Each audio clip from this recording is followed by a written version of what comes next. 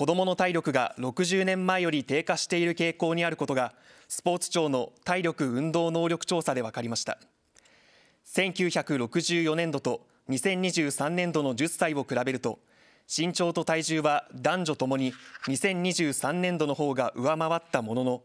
ボール投げや男子の50メートル走は1964年度の方が良い成績でした。